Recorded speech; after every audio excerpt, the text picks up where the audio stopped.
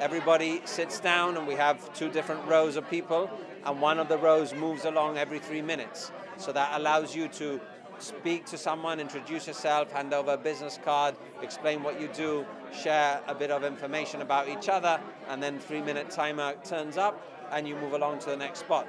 So it basically in the matter of an hour, an hour and a half, you get to meet a lot of people, a lot of businesses. We've been doing this now for a few years. Our members really love it. They always find it great, get to meet a lot of other people. We tend to find some of the members come back, but we also get new members, find it a good way to network. When we people join the GFSB, we ask them, why do you join the GFSB?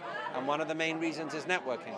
So this is why we have this kind of event, which is directly solving that problem, giving people direct access to new customers or new providers, and it's, it works really well.